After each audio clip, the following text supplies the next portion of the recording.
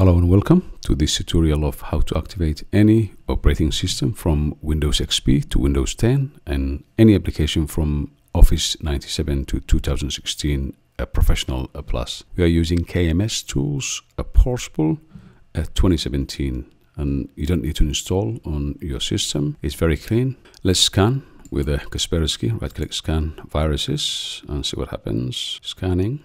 Scan is done. Scan of the folder KMS Tools Portable 2017 is safe, no threats detected. If I go back to the VMware, just let me click this one and see if it's activated already.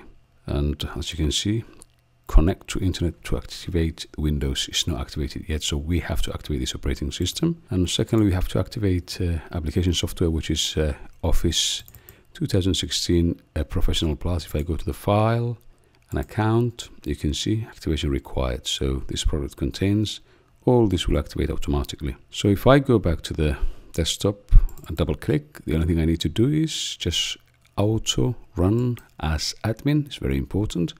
Run as administrator and you will hear the sound background we just wait for five seconds it takes five seconds to activate all the operating system and uh, application software so within uh, five seconds this window, a command window will go itself. So you can see there. The first thing we look is, let's have a look, Office, any Office, double click this, File, Account, and Product Selected automatically. Okay, let's have a look to Windows if it's activated. If I right click uh, this PC, uh, Properties, and straight away I can see Windows is activated. So basically, it takes about five seconds to do all the things. If you need this file, just let me know by emailing to this email you can see on the screen. Uh, please like, a comment. Until next time, thank you very much for watching.